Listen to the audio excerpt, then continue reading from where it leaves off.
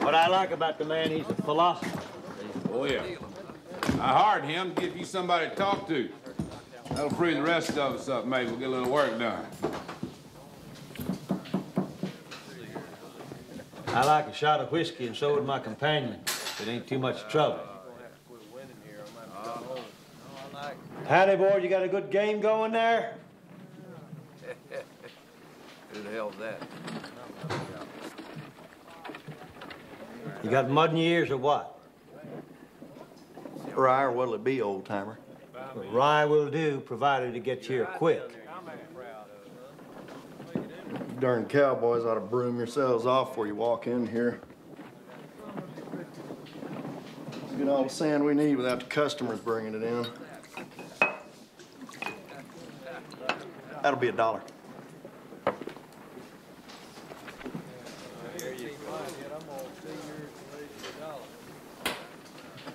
Now, besides the whiskey, I think we'll require a little respect. Now, I'm Captain Augustus McCrae. This is Captain Woodrow F. Call. Now, if you care to turn around, you can see how we looked when we was younger, and the people around here wanted to make us senators. Now, the thing we didn't put up with then was dawdling service. And as you can see, we still don't put up with it.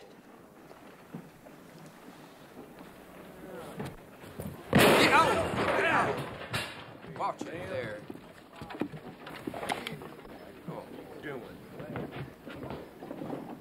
Now then, if I could have a fresh glass, please. You just broke my nose, you old son of a...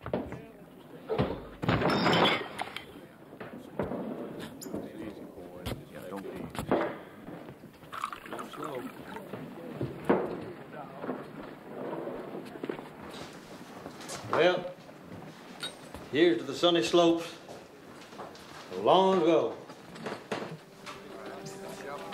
I wonder whatever happened to Wee Willie Montgomery. You didn't have to whack the bartender to get a drink when he owned that saloon. You're just mad because they didn't know who you was.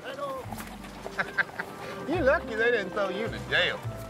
Well, ain't much of a crime whacking a surly bartender.